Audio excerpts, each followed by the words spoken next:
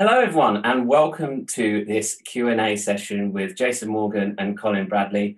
I'm Stephen Bradley, Colin's son, and I'd just like to thank you all for joining us. Uh, we are so excited. Thank you so much for all of your questions.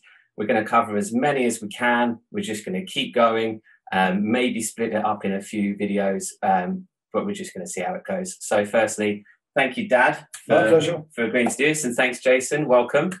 It's great to be here. We've got loads of interesting questions, and I can't wait to, to answer a few of them and hear what Colin's got to say as well. Fantastic. Okay, so let's kick right off with the first question from Deborah. Which pastel pencils would you recommend? So, Jason, we'll fire that over to you first. Well, um, to, to begin with, to start out with, uh, th- this question on its own could go on for an hour. So I'm going to keep my answer short and sweet, and I'm going to say Carbothello would probably be my number one. Um, Pitt pastel pencils would be my number two, just because people, I think, when they start with pastel pencils, they usually want some fine some form of detail in their work. Both those pencils, a little bit harder than some of the others, such as Caran d'Ache and Gioconda, which can bring with it their um, own issues of sharpening sometimes as well. So my two favorites are the Pitt and the Carbothello. That's cutting in nice and short.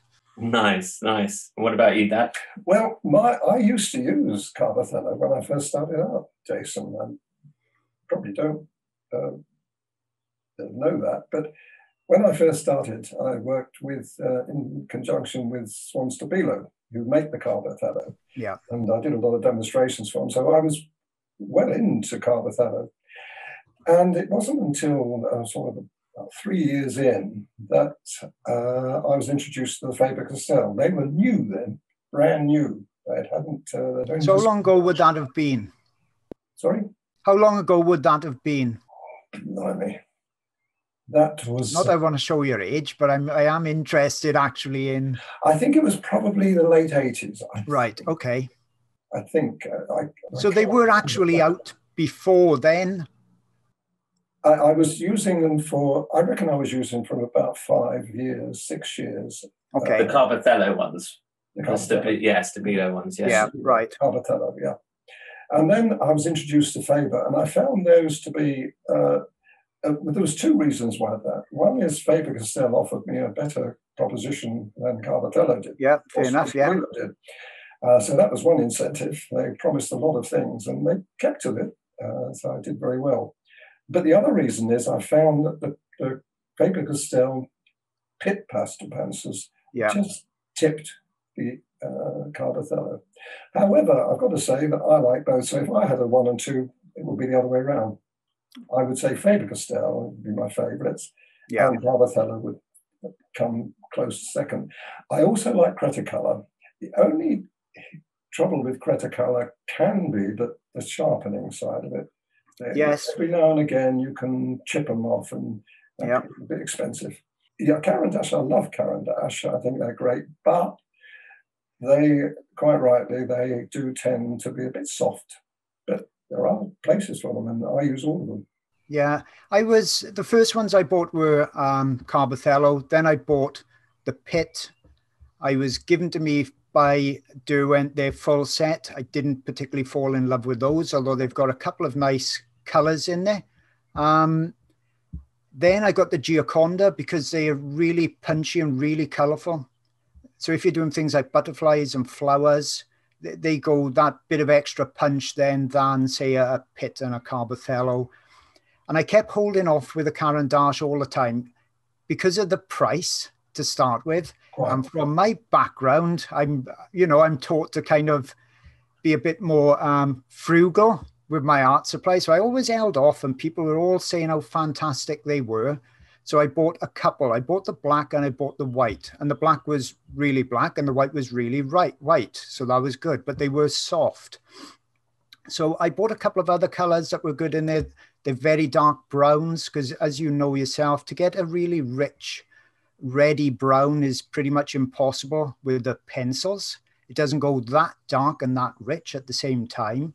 And eventually I, I shelled out and I bought the Caran d'Ache and I was absolutely disappointed with the um, quality of them because a lot of them had like a very hard grit in them, which shocked me. A little tiny piece of like grit, undissolved pigment or something like that. And um, to the point that it could easily ruin the Pastelmat surface or any other paper surface because it was that scratchy on there. in the end, I had a few emails back and forth to them and um, didn't get a massive amount of joy and sent them back. So I just selected a few pencils out of there. But for me, it just shows the best is not always the most expensive either. You know, it's just just what you like. I've seen some fantastic work done with Jess Caran d'Ache, but I've also seen it done with the cheaper ones. Mm. Cretacolor, I emailed them a little while ago because I got a small set of those. I like their colors as well. They're hardish pencils, so not that not that different to Pitt. Like I said, the uh, sharpening could be a bit of an issue, but I couldn't find any data at all on light fastness with them. Nothing at all. So uh, that was a little bit of problem I had with that. Interesting, interesting. Um, I don't have any information about the light fastness with Cretacolor. No, no, I don't. No, no. no. Uh, interesting you say about Gioconda. We've not not had those, not um, used those. Have you? Have you not used? I've not used. The, the, the, problem we got, Jason, is that I've got um, the whole set of all four. So yeah, Faber, Cretacolor. So I haven't exactly. used them all, but I've used a lot of them. Yeah, and uh, I think I've got enough. yeah, exactly right. Otherwise, you spend so much time selecting your pencils, you're not, not actually drawing. You, it can get quite confusing, especially for beginners. Yes, I think so. Especially exactly, this is what we're doing. We're introducing um, uh, people into the pastel pencil world. You don't want to give a, an endless uh, amount of manufacturers. I think yeah, to stick exactly. to the ones that we know, and, and um, you and I both kind of go along the same. Yeah, line. exactly right. Yeah, with, with Faber um, and uh, Swans and so I, I, think this is probably the right way of doing it. Let people find out for themselves if they want to try something. Good point. Else. Yes, good point. And you can also now buy, buy the old pencil like you did with Caran d'Ache. Yeah, just, yeah. just buy a couple of pencils and try them out, rather than buying a whole set, which uh, could be pricey. Yeah, Fantastic. exactly. Fantastic. Well, thanks, Deborah. Um, long-winded answer for that, but we we got there. Yeah. That was actually the short answer. I held yeah. myself back. Fantastic. Okay, moving on to the next one from Lana. I'd love to hear about uh, how you and Colin got started and if there were any particular artists that inspired you. Um, let's, we sort of touched upon a little bit actually about how you got started with pastel pencil specifically, but mm. um, perhaps give a short answer to this because we we discussed in our in the early episodes of our podcast mm. your story in a bit more detail, but perhaps give an abridged version mm. for this. Yes, I will. Well, I, I, came from a watercolor background. That was my first love. So um, I wanted really to. I was asked to do an animal um, by a friend of mine, and it was a dog. And I said, "Well, I'll try." I tried in watercolor, couldn't couldn't do it. And and long story short, I came across the Carbothello, box of Carbothello. And I thought for some reason, well, I'd give this a go for a dog. And I tried it, I liked it. And from then on, I was smitten by it. So that's how I actually got started with the pastel pencils. And were there any artists that inspired you to? Oh, artists. Well, again, uh, weirdly, I, I, was a great lover of John Constable's uh, yeah. pictures. Uh, I went to the National Gallery when I was, uh, well, not that young, but I went there and I fell in love with his paintings. He, was my kind of artist. And, uh, but I never ended up doing oil, funny enough. I tried it, I did try oil and I tried uh, uh, acrylic and I just couldn't get on with them. So I stuck to watercolor and uh, from then on it, uh, it progressed from there. But yeah. That was really my inspiration right from the beginning. And I ended up doing a John Constable picture of the uh, not the Hay Wain, what was it, the cornfield, uh, with the on Pastelmat with the um, pastel pencils. Yeah, and uh, that I loved doing that. That was one of my. That was I reached my peak then, and um, I really felt that I'd uh, done John Constable justice. You went full circle, didn't you? Then? It, I went full circle from yes. Well, that was quite recently you did that one, wasn't it? That was uh, Yeah. about four years ago, three, four years ago. yeah, three, four years ago. About three, about, yeah, about three years ago, I did that. And, uh, So perhaps, perhaps you're still at your peak then. well, I've, I think I've passed it now. I've um, I've got I've done an awful lot of work since then, but uh, it was nice to do something that uh, an artist that I actually did Yeah. originally admire. Oh, and I still do to a certain extent. That's how. I, what about you? what about you, Jason? completely the opposite. So I started with um, oils. Uh, basically, I've always loved looking at wildlife and wildlife art. And I went to a gallery in um, Gloucester, Nature in Art, I think it's called. And I saw some fantastic work there by Simon Combes and John Banovich, which are two incredible, um, realistic wildlife artists. I could never, ever afford something like that on my wall. But um, I'd always been interested in art as a child. My mother always, ins- you know, pushed me or, or led me into it because she was quite artistic with crafts and knitting and needlework and tapestries. So I always did a bit with pencil and graphite. And once I saw those paintings, I, I really wanted to see if I could ever do anything like that. And um, at the same time on TV happened, happened to be Bob Ross, and he led a lot of people and gave them confidence to try oils, which people thought were just a kind of a master medium. And I did a couple of those. I got all the giant brushes, put uh, sheets on the floor in the living room for the paint splatter and the smell and all that. I did a few of those. They turned out okay. Give me the motivation, but I, I didn't want to be setting things up like that all the time and having that smell of turpentine in the living room because I wasn't in a studio like Bob Ross with a camera crew.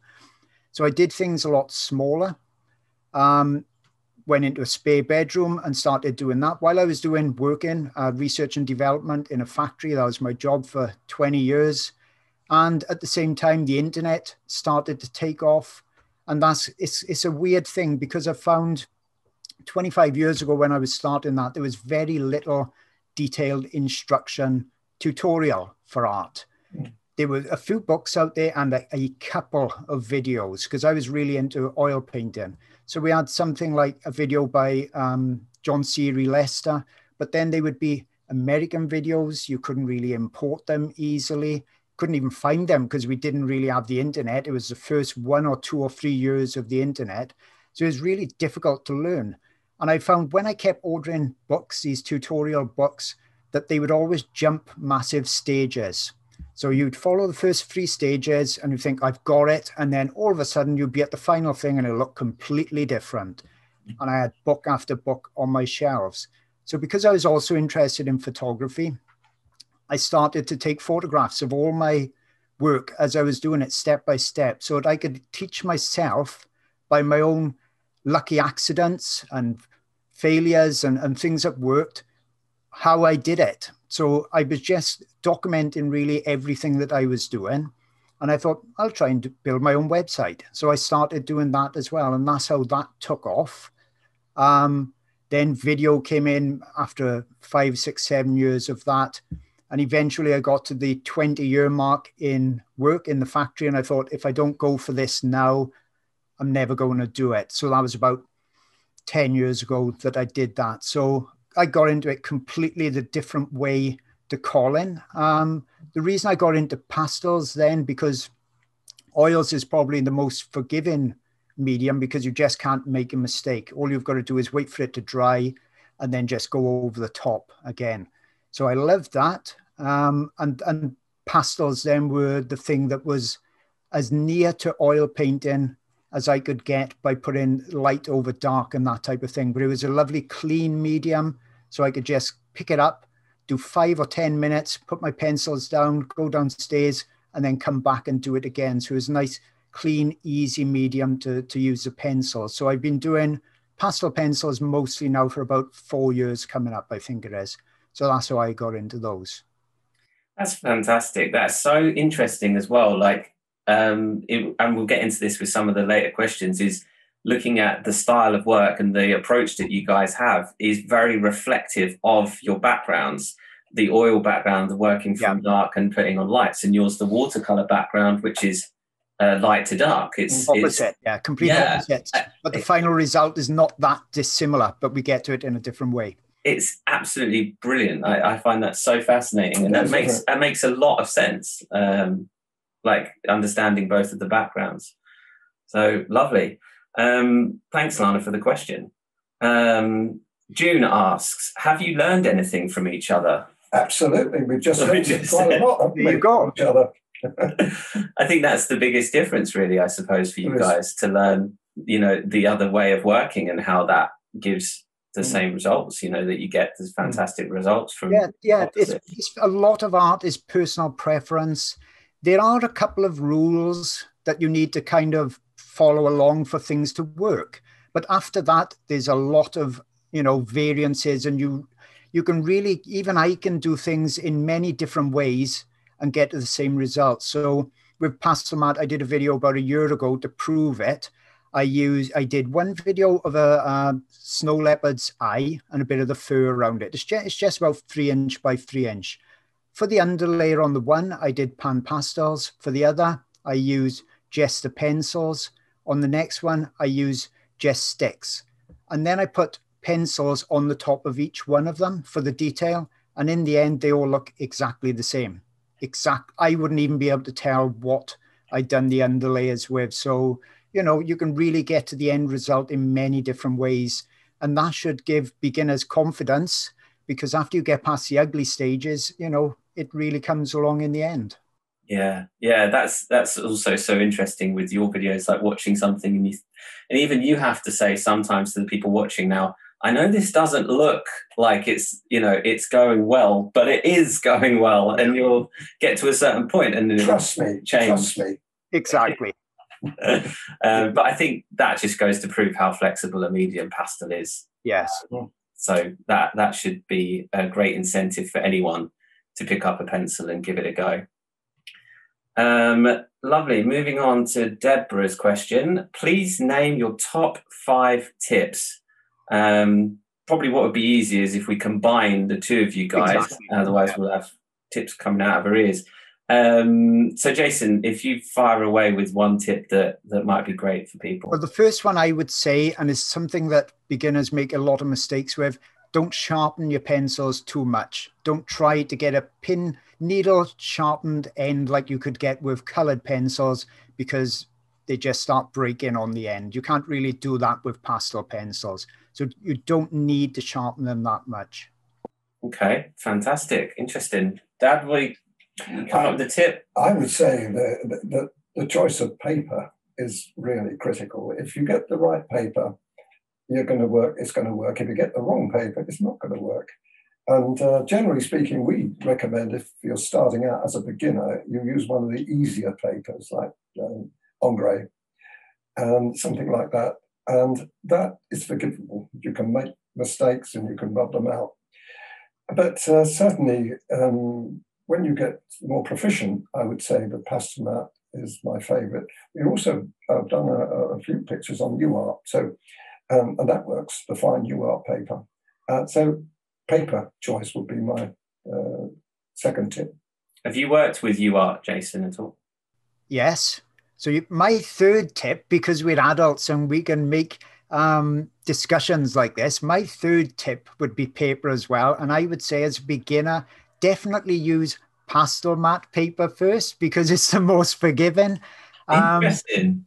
Because you can layer upon layer on it, you can rub it off. If it if it all goes wrong, you can get a wet rag and wipe it off completely. Dry with a hair dryer, you're back to square one. So my tip would be use Pastelmat paper. So we can disagree. We can agree yeah. to disagree. Yeah, that's. Oh, yeah. I, no, I, I would. Um, uh, the, the, reason we we have come across this um, a few times with people trying Pastelmat who are beginners haven't been successful with it. We've seen this on our Facebook page. Yeah, but the, I think the thing they make in mistakes with with they're not putting enough layers on it. I know, but this, we're talking about layers. You see, when you're when you're starting out, Jason, you've got you, you're a little bit uneasy about going overboard, and most people, and I've, we've seen this a lot, they don't put a, hardly anything on the paper. They just no, exactly right. Yeah. Where we know that that's not going to work. So yeah, exactly. this is why I tend to go along the, the Ingres route to start with, and then yeah. move into because I've done a lot of um, a lot of work on Ingres uh, right up until about three years ago. Yeah, yeah. Very successfully, and uh, we've had a lot of success with it. So, you know, it's it's each to their own, and I think that uh, without a doubt, certainly paper is the yeah either the second or the second and third tip. So yeah. I think if yeah, or even the third and fourth, but I'd say if you said Ingres and I said Pastelmat, would we both agree then that if you're doing detailed animals, which is kind of what we do, or, or portraits, that you wouldn't suggest as a start off one of the sanded papers, basically sandpaper, because that's what they are? Well, I, I wouldn't know. From, from a beginner, I wouldn't uh, know, simply yeah. because we've seen the results of it uh, in, in the classes that we've done and the pictures. But uh, I, I would say that I certainly personally prefer Pastelmat myself. Yeah, exactly. UART is good. And uh, uh, we've done a couple. I haven't done enough, I don't think, on UART. I'm going to do more.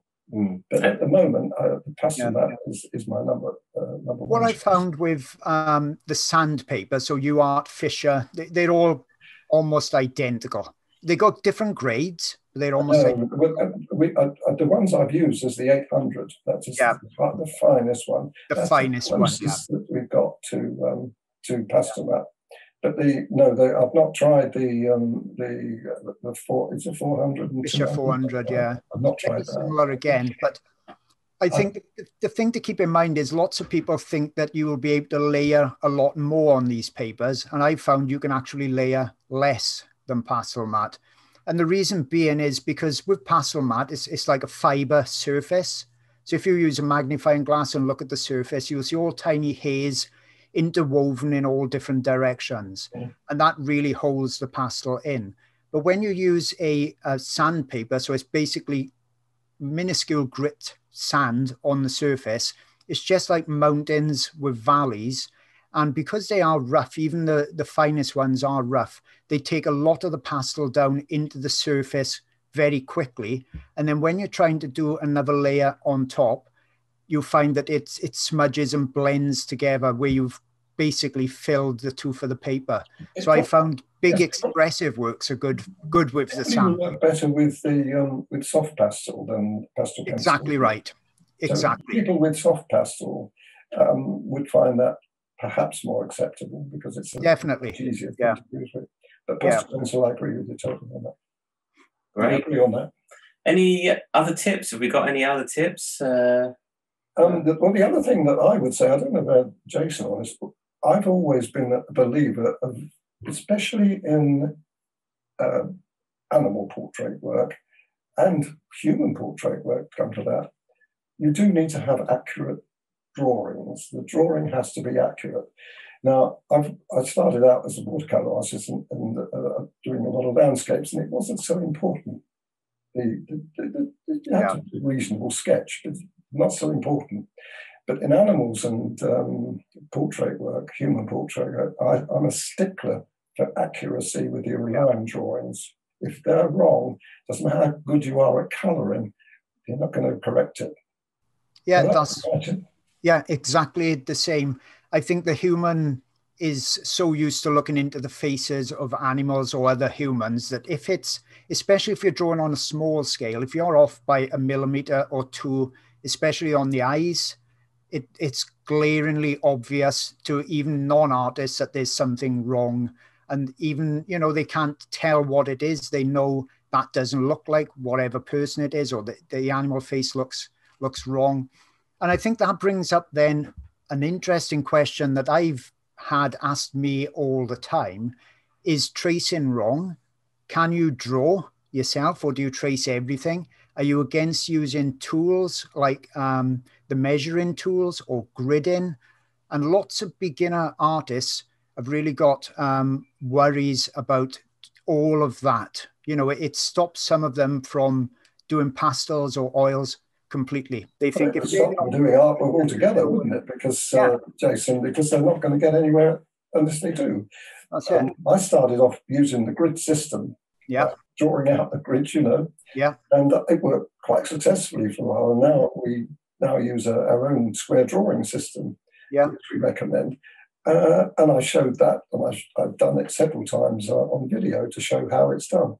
That way, you get pretty accurate, but never absolutely accurate. It's it's especially on human portraits, humans more than animals. Yes. Um, uh, but if you get pretty close during the process of um, using the pastels, that's when you can make your finer adjustments. Yeah. It is easier to do that than find your eye is completely wrong and not really do it because you get into a hell of a. We lost the audio. Uh, I think we may have lost you, Jason, there, but I think it's caught up with us now. What were you saying there to add in? Um, I was just going to say that I personally, I've certainly got nothing against some people. All they want to do with their art is get to the coloring stage. If they want to trace it, they can do that. If they want to use one of the measuring devices, even Michelangelo was using devices all those and, ways and, um, um, John Constable did. Yeah, I've seen, I've seen one of his uh, original squids. So well, right for.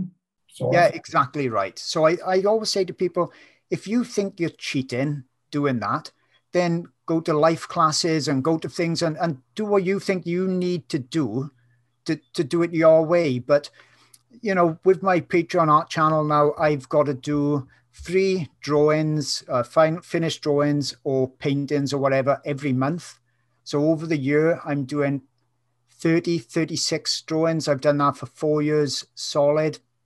So I'm way over the hundreds of drawings, and a lot of them are quite large. They're really in depth as well. So sometimes, well, very frequently, I'll trace my image down on there because the amount of time that saves me, if I was doing that drawing, even though I show on YouTube various ways to freehand draw, basically to prove I can do it, you know, just to, to show that, it would take me so long doing the drawing, almost as long as the, the painting itself, I could never get more than probably one out a month with all the video editing that goes with it. So I just say, you know, do what makes you happy because the art should make you happy at the end of the day. So I think that's it for the tips. I, I agree. Yeah, fantastic. Thanks, guys. Um, okay, so moving on to Barbara's question What is the difference to work from light to dark or from dark to light and why would you suggest the one or the other technique? I mean, we've kind of we have covered talked that, we? we've kind of talked about this a fair amount, so I don't know how if there's anything you guys want to add to that, but I mean, we've kind of explained a little yeah. bit why. I think we could just briefly say that if you want to work the light over the dark, probably Pastelmat is your paper. If you want to work it more um, where you use it more as a colored pencil kind of way of doing it, uh, the other way around, then you could work with Ingres and other papers. Would you agree with that, Colin? I, well, I think again it, it, comes back to what we were talking about when when we start both started out. We were finding our feet. Yeah. And I found coming from watercolor, I actually naturally exactly carried on with that because when I mean I'm talking about 1980 five. Now that's a long time ago. Nothing about you couldn't no. pencils, information zil. Yeah, I didn't know how to use them, so naturally I worked from the experience I already had, which was watercolor, and that was my basis. Now, so I carried on doing that, and yeah, carry yeah. on doing that. You came from the oil side of it, and came from another direction we both met in the middle. Yeah. And I don't think it really matters, but I think it's important to express that, how people start out. I mean, nowadays they've got the, you and I and uh, many, many other artists to see on the uh, YouTube uh, and various mediums. You can see um, what we do and say, oh, I like that. I'll do it that way. Well, we didn't have that. I didn't no, exactly right. I was just thrown in the deep end. I'm glad I was, but uh, I think that's really that is the difference. Yeah, and to answer your question about the Ingres, um, what we found is with the Ingres, because it's a thinner paper and it's a different texture, the, the application is going to be slightly different. And the amount of layers that you would get on an Ingres sheet of paper and Pastelmat is I don't know whether we, you could have used the Ingres with the dark to light. Process. That's what we was. Yeah, don't think, think you could do no, it that way. No, because I tried. I probably tried pastels about fifteen years ago. First attempt, I got the Ingres, and I attacked it in a completely oil painting manner. So I went that mm-hmm. slightly darker underlayer and as soon as I was trying to put the details on top light, it wouldn't do it at all. I tried that for a good day or two in all different ways because of my R and D background. I, I like to try things out like that, and I got so frustrated. I put my Pitt pastel pencils in the drawer and shut the drawer for about 15 years, and I didn't reopen that until Pastelmat came around. And that's just because I was attacking it and expecting it to work just like oil painting. Mm. If I'd come from a colored pencil background or watercolor background, You'd I would have gone in that way. It would have worked that way. That's very, that's very, it's a very good really, point. yeah. come out on this. Um, yeah. Well done.